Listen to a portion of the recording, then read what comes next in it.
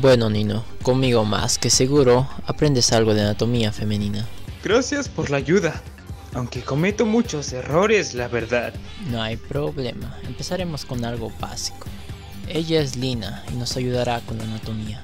Profánenme como sus manas chinas. ¿Por qué tiene tanta niebla? Mira, Ren. ¿Así está bien? Hmm, creo que lo haces mal. Five minutes later. Bien, ya conseguí hacer la anatomía femenina. Excelente. Ya puedes parar, Lina.